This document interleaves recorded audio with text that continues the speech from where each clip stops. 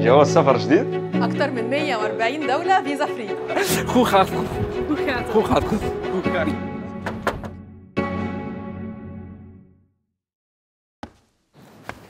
تخيل روحك غطاس.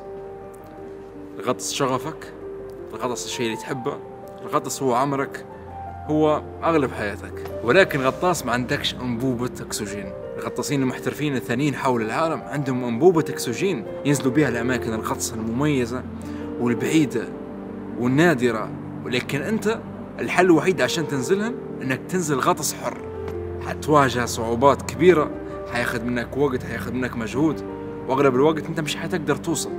هذا أقرب تشبيه للي صاير معي. رحال نبي نسافر العالم وجواز سفري أغلب الدول نمشي لهم بتأشيرة. بس المشكلة مش هيك بس.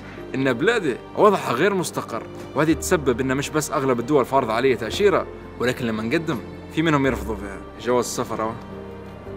جواز السفر ليبي اللي أنا فخور به. وبما نمشي يسألوني من وين أنت نقول لهم أنا ليبي. لكن في السفرات الوضع مختلف. في المطارات الوضع مختلف. المعاملة مختلفة. نبقى نشوف الناس كلهم قاعدين اللي قدامي كلهم يدخلوا. الموظف يمسك الجواز متاعه يسأله سؤالين يختم. تفضل. Thank you كمان أنا يمسك الجواز يبقى يقلب ينظر لك يفنص فيه وفي بعض الدول يطلعوا حتى في منظار ويبقوا يبحثوا في الجواز وكأنه مزور. يا أخي عليش بنزور الجواز أنا؟ يسألوني من وين أنت وعليش جاي؟ تعال على جنب. المسافر اللي بعده يتقدم. ويختموا له ويمشي. أنا على جنب نبقى نعد المسافر الأول الثاني الثالث الرابع الخامس. لعند ما يجيني بعد الشرطي يكلمني يقول لي تعال شوي يمسك الجواز بتاعي يبقى يسأل فيا. آه عليش جاي أنت هنا؟ سياحة؟ شو تشتغل باي آه قبل ما جينا وين كنت؟ الاسئله هذه خلاص حافظها نقدر نسمعها عليهم أنا. بعد الرحلة هذه وين حتمشي؟ آه الرحلة اللي قبل قبل قبل هذه وين كنت؟ آه اسم الأم اسم الجد شوي يقول لي جاركم شنو اسمه؟ مديرة المدرسة اللي انت قاري فيها وانت صغير شنو اسمها؟ شوي يسألوا حاجات كيف هذين. هذه نسميها مسألة الرفض لأن ارتفض لي فيها تأشيرات ارتفض لي فيها الدخول في مطارات. ياما من فرص يجني من هيئات سياحة مشاريع ايفنتس نبي نحضرها ما نقدرش إني نمشي أو نقدر نمشي لكن الوقت في التقديم على التأشيرة ما يسدنيش. وتبقى الفرصة مثلا الأسبوع الجاي أو بعدها بأسبوعين وأنا التأشيرة عشان نقدر نحصلها نحتاج مش أقل من ثلاثة أسابيع. وهذا اللي خلاني أغلب الدول اللي كنت اسافر لها في السنوات اللي فاتت. يا أما دول من غير تأشيرة يا أما تأشيرتها في المطار أو تأشيرتها إلكترونية. هذا الحل الوحيد. شو بندير؟ قليل من الدول اللي مشيت لهم بالتأشيرة. وحتى اللي نمشي لهم بالتأشيرة تاشيرتها سهلة. لكن الجانب الإيجابي كان إن الدول هذه كان عندها نكهة خاصة. لأن أغلب الدول هذه هي دول مش متقدمة أو دول مش من دول العالم الأول. وهنا تلقى الناس على الفطرة تلقى الناس ترحب وتفتح لك بيوتها وتأزمك وتوريك بلادها وتفرح بك لكن لعندنا تبقوا مقيدين باقي الدول حتى هي خاطري نشوفها. كنت ديما نفكر في الحل ونعرف إن الحلول ناس واجد تدير فيها حول العالم. تاخذ في جواز سفر آخر يفتح لها العالم بين يديها. بس جواز السفر الأوروبي لو نبي نديره نحتاج إن نقيم في واحدة من الدول الأوروبية وناخذها عن طريق واحدة من الطرق اللي حتاخذ سنوات وجدات بس أنا الوقت يمشي مني ونبي نسافر ونبي نستكشف وبندير فيديوهات. فما واش الحل؟ لعند ما جاني إيميل من واحدة من الشركات المعروفة في حلول الهجرة وفي حلول السفر وفي حلول الجواز الثاني. تواصلوا معي وأنا كنت نعرف البرامج بتاعتهم لأني كنت داير بحث من قبل بس نعرف إن البرامج هذه لرجال الأعمال والمستثمرين والناس اللي عندها رؤوس أموال. صح قاعد ندير في فلوس ونحوش قاعد لكن مش للدرجه اللي نقدر ناخذ بها جواز سفر جديد زي هيك. لكن قدموا لي فرصة لكولابوريشن بيناتنا وإجراءات خاصة بي تقدر تحقق لي الحلم هذا لدرجة انه قد ما هو الموضوع جميل حسيته مش حقيقي. قدمت لهم اوراقي ومشان الأيام وسافرت لي أكثر من دولة وأنا نستنى أخيرا كانت كوبا. أسألني شو اللي صار. شنو صار؟ أسألني شو اللي صار شو اللي صار؟ باسبورت طلع. خشي خشي! لا لا. لا لا. بالله باسبورت طلع توا. حل المشاكل كلها انحلت الحمد لله الله. الله الله أكبر. الحمد لله. صدق أنا congratulations man. Congratulations. كوبا كوبا اللي هي كوبا تو قاعد فيها. داروا معي تحقيق ساعة ونص في المطار. تحقيق واقف. تشيل ساعة ونص. والله لا ساعتين ونص. عمار يصور أنا فيها نستنى فيه. عنده باسبورت إنجليزي خش على طول. أنا واقف في المطار. الناس آخر واحد خش باليمن بالله آخر واحد خشمة. أنت؟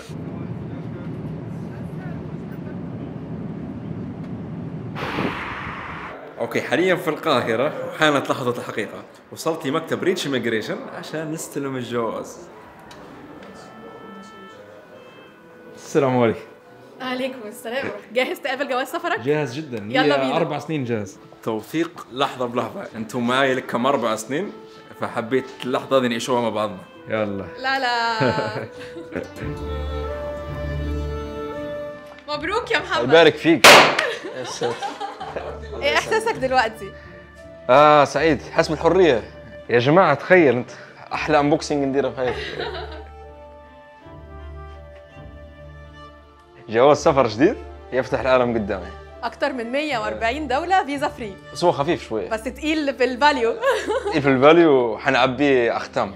Yes. تك تك تك مش فيز اختام شوية فيز بسيطة بس عندك كل شنجن عندك UK عندك Europe كلها مفتوحة قول لي أكتر حاجة خلتك عايز تاخد جواز سفر تاني لحظه أنا كنت سارح في الجواز الجواز حلو والله على فكرة المرحلة هذه يا سادة اسمها مرحلة الصدمة حد يقرصني أنتوا جايبين الكيكه هذه فالكيكه أنتوا مت... مختارين على أي أساس علامه الدول؟ في فكرة معينة؟ يعني هي أعلام كتيرة. أنا ليش سألتك آه، على أي أساس مختارينهم؟ لأن هذينا في ثلاث دول رافضيني في التاشيره من قبل. يا سلام. ودولة آه، كنت نحاول إني نحصل تأشيرتها. بعثت جوازي لعند الدولة على أساس نعرف حد يعمل لي واسطة آه، عن طريق المعارف وسكروا على الجوازات ورجع لي جوازي من غير تأشيرة. ياه. مالطا. اللي صار لي فيها هيك okay. والسويد رافضين لي تأشيرة. كمان. وإسبانيا رافضين لي تأشيرة. طب إحنا ما كانش قصدنا عامة بس نضايقك يعني. مش بندوس على الجرح. دستوا على الجرح بس دلوقتي فرحتوني. كلهم دلوقتي كلهم هتدخلهم خلينا نحكوا للناس الطريقة اللي خديت بها الجواز عشان الناس اللي مهتمين يديروا حاجة كيف هذا طيب بتحصل عن على جواز سفر الكاريبي عن طريق حاجة من الاثنين يا إما إن أنت بتدفع مساهمة مالية غير مستردة للحكومة بتبدأ من 100 ألف دولار أمريكي. يا إما إن أنت بتس بت- بتستثمر في عقار هناك في الكاريبي برضه وبتحصل على جنسية وجواز سفر الكاريبي في خلال أربع شهور من أربع لست شهور يعني حاجة كده. حلو. هذين الطرق اللي يقدروا يديروا بها الناس. وغير الكاريبي عندكم برامج تانيات yes في طبعا برامج بس لحظة معلش نوقفك. أنت حتستمري بس أنا حنخلي هذا جنبي. okay. طيب إحنا خايف عليه. إحنا عندنا برامج تانية كتير. في كمان برامج الاستثمار العقاري وفي برامج استثمار تجاري بتعمل business في بريطانيا أو في كندا. استثمار عقاري بتبقى يونان وقبرص والبرتغال. ف yes عندنا options كتيرة. ماشي يا جماعة. في ال description وفي التعليقات حنحط لكم الطريقة اللي تقدروا تتواصلوا بها معهم. الناس المهتمين بالاستثمار وبالحصول على لحظة أوه. الحصول على جواز سفر يفتح لك طيب يلا عايزين كمان نقطع بقى الكيك؟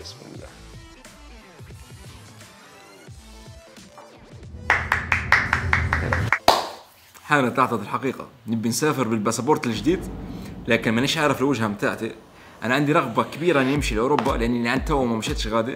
مشيت بريطانيا من قبل بس تو نحكي على أوروبا اللي تخش لها بتأشيرة أوروبية. بس أنا بخش لها بالجواز هذا من غير تأشيرة لأول مرة. شوفوا كيف الواحد يحدد في وجهته المسافرين يسافروا فترات طويلة كيف يديروا؟ عادة في حاجتين هنا. وجهات أنت خاطرك تمشي لهن بس أنت لما تسافر كرحال لفترة طويلة التكاليف قاعدة تتراكم عليك وانت تبي توفر على قد ما تقدر. فعشان هيك انت تمشي لحاجة انت التذكرة لها قد تكون أرخص شيء. كيف تحددهن؟ في حاجة جميلة جدا. مواقع البحث عن التذاكر تقدر تختار انت البلاد اللي انت موجود فيها وتقول له شيلني إلى العالم كله. فيرتب لك البلدان حسب سعر التذكرة من الأرخص إلى الأغلى. بس أنا كنت محروم من أني نقدر ندير الشيء هذا من قبل. لأن لما نرتب بالشكل هذا. أغلب البلدان اللي يطلعن لي فوق أنا ما نقدرش نمشي لهن. لأن نحتاج تأشيرة تو لما بنمشي لأوروبا عشان نسافر من ليبيا لأوروبا حنمر من تونس. ولذلك لو ان اخترت من تونس إلى العالم كله ويرتب لي حسب السعر شو تتوقع ممكن يطلع لي أول شيء. بسم الله. الحاجة هذه كنت محروم منها زمان يا جماعة. إن نديرها مفتوحة الوجهة لأنه حيكون في رمضان. ما نبيش ترانزيت نبي رحلة مباشرة بنتدلع شوية. وعلى فكرة الرحلة هذه حتطلع مش أرخص شيء في الدنيا يعني مش رخيصة واجد زي السعر المعتاد لأن رحلة قريبة بكل. على فكرة نبي رحلتي لأوروبا أول مرة تبدأ من عاصمة. يعني تكون تجربة مميزة كي بالنسبة لي. أول شيء سويسرا أول وجهة اللي هي جنيف. لا نبي عاصمة. فرنسا. مارسيليا أول وجهة. لا نبي عاصمة. شنو بلجيكا. بروكسل. ماشي. سعر تذكرة على بروكسل من تونس قرطاج. بروكسل؟ أول وجهة لي في أوروبا بروكسل بتكون. booking confirm اليوم في مطار تونس نجرب جواز جديد لأول مرة. دقات القلب بشكل ما نحكي لكمش نعم. جديد passeport جديد إيه. نتاع شكرا. عارفين أصعب دقيقة انتظار.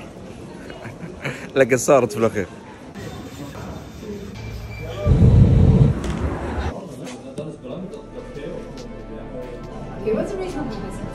Tourism.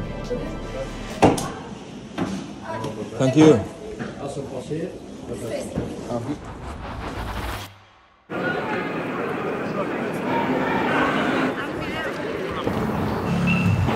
مرحلة الحرية. okay حرفيا أول حاجة درتها لما وصلت أنا لبروكسل شريت الطاقية هذه عشان الصقع وشريت فانيليا داخلية حاطين هذين الحراريات. تخيل إحنا قاعدين في شهر أربعة والحرارة بالشكل هذا. صقع. حاليا موجودين في ال Grand Place. ال Grand Place حرفيا معناها المكان الكبير. اسم مش متعوب عليه بكل. فال Grand Place هذا حتلقوا فيه حاجات من التراث العالمي. مباني قديمة بكل. ومزينه باللون الذهبي. بس بنوريكم أغرب حاجة هنا واللي هو المبنى بتاع البلدية. اللي يتوسطه البرج العملاق هذا تشوفوا فيه. لكن مبنى البلدية في حاجة غريبة. okay نبيكم تركزوا معي تشوفوا شنو هي. شن تلاحظوا في حاجة غريبة في المبنى هذا؟ في حاجة غلط. مش ملاحظين إن البرج بتاع المبنى جاي على اليمين شوية هيك؟ ما هوش في النص. طبعا البروكسليين كل واحد فيهم تلقى جدة حكي له قصة. واحدة من القصص المشهورة يقول لك إن المعماري اللي صمم البرج هذا بعد ما تم صعد فعال البرج ونط من غادي ينتحر. طبعا هذه لا تمت للواقع بصلة. في علم هيلفت انتباهك هنا؟ ما هوش علم بلجيكا ولا هو علم الاتحاد الأوروبي علم لونه أخضر بالأحمر. في نفس الوقت حتلقوا المقاهي عليها مظلات لونها أخضر وأحمر. لون علم بروكسل. بروكسل عندها علم خاص بها. في بروكسل هنا تلف يمين تلف يسار حتسمع لغات غريبة مختلفة. مش بس لأن السياح في كل مكان. لما تشوف الخريطة متاع البلاد حتلقاها مقسمة إلى جهة شمالية وجهة جنوبية القسم الشمالي واللي هو جهة هولندا يعتبر يحكوا فلمش أما القسم الجنوبي يحكوا اللغة الفرنسية وحتلقى جزئية بسيطة هكي في الشرق يحكوا بالألماني خلينا ندير وكي جو هنا نشوفوا حد يحكي فلمش ولكن ما باردون ماي فريند اكسكيوز مي يو سبيك فلامش A little bit, no? Français Français? Ouais. You are from Brussels? Uh, you're from Brussels Brussels. Okay. فلامش زيرو okay thank you you speak French yes okay لكن عنده صديق تهنا لقيته do you speak Flemish Flemish how to say how are you in Flemish هو هاتت هو هاتت هو هاتت في حروف غريبة. hoe gaat hoe gaat het hoe gaat het okay I'm good I can speak Flemish باهي لقينا مجموعه من الفتيات أنا hallo hi كم كم كم كم وير ار يو فروم From Netherlands. Who speaks Flams here? You. I want to teach me uh, two things in Flams. If you want to say, Yeah.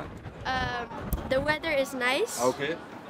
then you say, het is uh, mooi weer of lekker weer. عارف طول ما انت قاعد تتمشى في بلجيكا تحس بحاجتين في الهواء تحس بالرائحة الجميلة بتاع المخبوزات وتحس بالسعرات الحرارية عندها في بلاد الحلويات وتحديدا بلاد الوفل.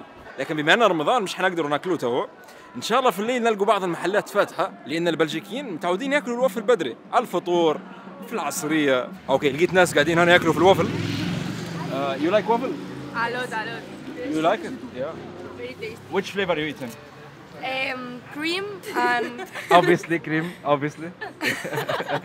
شوف ها and chocolate. هذا أكبر مثال. الناس تلقاهم في الشارع هنا قاعدين يأكلوا في الوفل. waffle everywhere. Everywhere. bon appétit thank you thank you enjoy. Bye. Are you a YouTuber? yeah a youtuber. Oh. yeah yeah. I show you. Open. Okay. yes. Ostras, si tiene un millón de seguidores. المشهد المعتاد هنا باختصار محلات تبيع في البطاطا وجنبها محلات تبيع في الوافل. يعني تاكل هنا وتجي تحلي هنا بعدها. She's a waffle maker. Yeah. What's your name? Lucille. Why the Belgian waffle is very famous? Mm, there are two kind, you know. This Yeah. one, Liège waffle, and this is Brussels waffle, but the batter is not the same. What's the secret?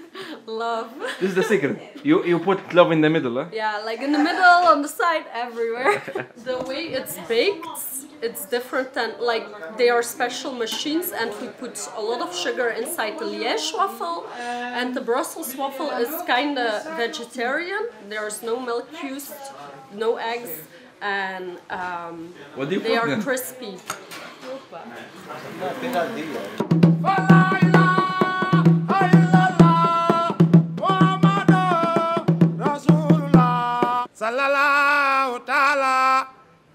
Wa sallama alhamdulillah akil mubin. On Where are est you from?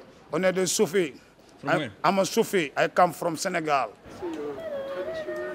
سيداتي سادتي خليني أعرفكم على أشهر شخصية بلجيكية على مدى التاريخ. تنتان هي حرفيا تتان تنتان. تنتان أكيد مر عليكم برسوم متحركة بس من فينا كان يعرف أنها هي صنعت في بلجيكا. حتلقى لها أكثر من 55 جدارية موجودة هنا وهذه واحدة منها قدام محل اللي هو يبيع في الحاجات بتاعت الكوميكس اللي بلجيكا مشهورة بها ومش بس تتن حتى السنافر من هنا. السنافر اللي كلنا شفناها ونحن صغار واللي حتى آبائنا شافوها وهم صغار صنعت في بلجيكا. هي شكلها أي حاجة غريبة تلقوها مصنوعة في بلجيكا. وعلى سيرة الحاجات الغريبة بنوريكم حاجة حتغير حياتكم. حياتكم قبل اللي حتشوفوه توا وبعد اللي حتشوفوه مش نفس الشيء. هل أنتم جاهزين ان تشوفوه؟ والله أنا حاسس إن أنتم مش جاهزين بتشوفوه. تعالوا تعالوا. شايفين مش فرنسا عندهم برج إيفل وإيطاليا عندهم برج بيزا. بلجيكا شنو عندهم؟ okay أول حاجة حتخطر في بالك لما تجي هنا علاش علاش العيل الصغير هذا اللي قاعد يتبول واحد من أشهر المعالم الموجودة في العالم. يقول لك بلجيكا زمان كان عندها حرب مع واحدة من الدول المجاورة. فالجيش متاع الدولة المجاورة هذه كانوا يجهزوا في العدة متاعتهم عشان يضربوا بلجيكا. وكان في طفل بلجيكي على واحدة من المدن الحدودية هذه قاعد هارب برا في الشارع ومحصور هيك. أو كيف ما نقولوا نحن بالليبي مزروب. يبي يتبول. فيقول لك ما عادش قدر يمسك روحه. وقف في الشارع وبدأ يتبول. جت على واحدة من القنابل هذيك اللي مولعين فيها نار طفتها. لكن القصة هذه غير حقيقية. هي و17 قصة ثانيات متداولات ولا واحدة فيهن حقيقية لكن البلجيكيين يتداولوا فيهن من باب انها آه يتداولوا فيهن من باب الطرفة لكن هم بينهم وبين نفسهم عارفين إن القصص هذه كلها 17 قصة غير حقيقية. اللي لازم تعرفون إن التمثال اسمه ماني كامبس وأحيانا تلقوه عريان ومرات تلقوه لابس حاجة. على حسب المناسبة دايرين حتى جدول مكتوب فيه اللبسات اللي يلبس فيهن وشنو السبب. وغادي في مبنى كامل عنده فيه أكثر من ألف لبسة. okay من حبهم للمانيكان بيس دايرين activity غريبة أنا. حاطين ثلاث تماثيل مانيكان بيس في المبنى هذا اللي موجودة فيه الملابس بتاعتها الثلاثة هذوما يسمحوا للزوار إن هم يبقوا يلبسوا فيهم. فتلقى واحد زي اللي جنبي هذا جاي يلبس في مانيكان بيس أغلب اللبسات اللي حتشوفون هنا هي ناس من حول العالم تبرعوا بين للمانيكان بيس حتلقوا حاجات تعبر عن ثقافات معينة عن شخصيات معينة عن دول بحالها. حتلقى مثلا لبسة فرنسية لبسة الصربية لبسة الروسية قعدت ندور إذا في لبسات عربيات. لقيت حاجتين. لقيت لبسة تونسية ولقيت لبسة مغربية.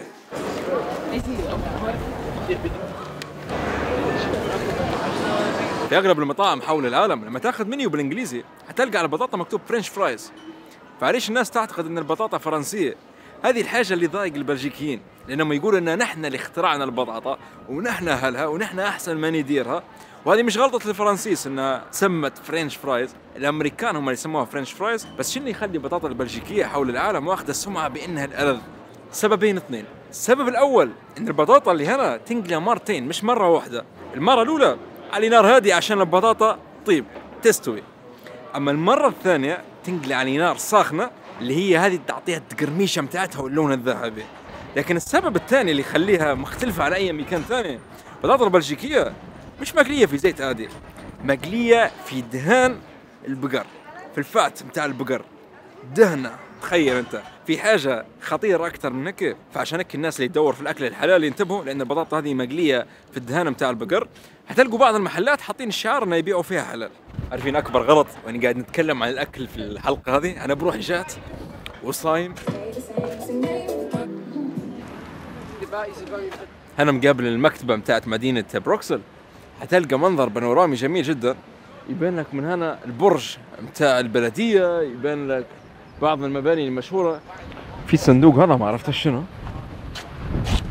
تخيل في الاخير يطلع كناسه عشاكم والله عم بقول له شايفه شايفه بس وين على راسي حبيبي.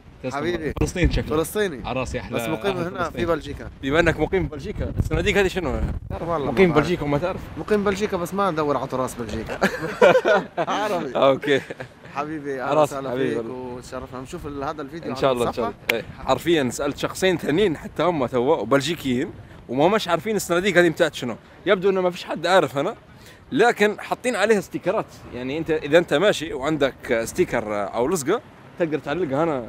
أقوى واحدة فين ضحكتني بتاعت دييغو أرماندو مارادونا. في بعض الناس تقدس فيه يقولوا له سانتو دييغو يعني القديس دييغو. بلجيكا تتميز بحاجات وجدات لكن الطقس ما هوش واحدة منهم. عشان هيك داروا الجاليريات هذينا اللي هي تجي مسقوفة من فوق وتمنع دخول الأمطار بحيث الناس تقدر تدخل تتسوق. حاليا إحنا في جاليري رويال سانت هوبرت. الأثرياء كانوا يجوا هنا يتلاقوا يتشاوروا يهدرزوا يتعرفوا على بعضهم وأكيد بيتسوقوا كانت أفخر المحلات موجودة هنا والزوار العاديين مش أي حد يقدر يدخل. تدفع عشان تدخل الدخول ما كانش مجاني بس حاليا المكان سياحي والناس قاعدة معبية المكان. فاميليا شوفوا نبي نقول لكم حاجة. باعتراف هو بنقولها لكم. في عندي إدمان. إدمان على حاجة لازم تشوفوها توا. وأنا قاعد في المكان الصحيح.